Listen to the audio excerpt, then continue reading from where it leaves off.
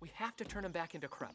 I know, but can we just take a moment to acknowledge what's happening here, please? I mean, Captain Underpants is hanging out in our treehouse. Well, a hero's work is never done. Now it is time to fly again.